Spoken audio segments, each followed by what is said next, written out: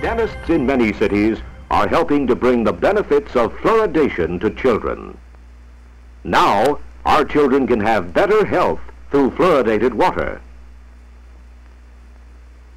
They can drink away tomorrow's tooth decay. Think fluoride is good for you? Think again. That's old news. I'm Dr. Griffin Cole. I'm a dentist and a member of the IAOMT, and I'm here to tell you that a lot has changed since the 1940s when fluoride was first introduced for dental cavities. First of all, its use was questioned at that time, and before adequate research was conducted and its safety and effectiveness proven, it was added to the water supplies. In the decades that followed, it was added to numerous other products that many people use every day. What this means is people are repeatedly exposed to fluoride through their water, food, and daily routines. Let's look at the dental products you use at home that contain fluoride. Toothpaste, which can result in a higher exposure level if it is accidentally swallowed, floss, and mouthwash. Plus, for over 66% of Americans, fluoride is also in the water supply. And then, to add to that, you might not even be aware of products at the dental office that can contain fluoride. Prophy paste, used during teeth cleanings at the dental office, can contain over 20 times more fluoride than toothpaste sold directly to consumers. As another example, fluoride varnish treatments also contain high concentrations of fluoride. Additional fluoride dangers from exceeding safe exposure levels can come from dental filling materials.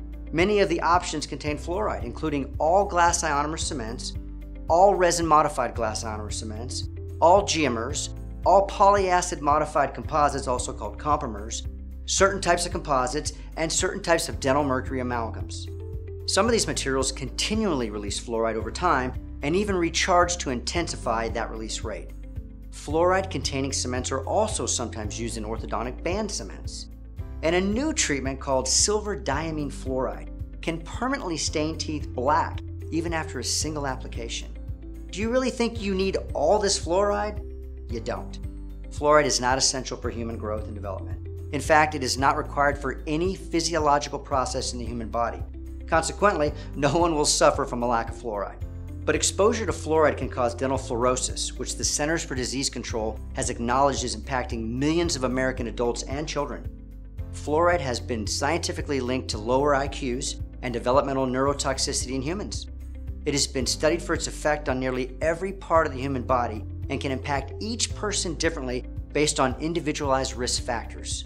So read the labels on your dental products and ask your dentist which items contain fluoride. Protect your health, and remember, given the elevated number of fluoride sources and the increased rates of fluoride intake in the American population, which have risen substantially since water fluoridation began in the 1940s, it has become a necessity to reduce and work toward eliminating avoidable sources of fluoride exposure, including dental products.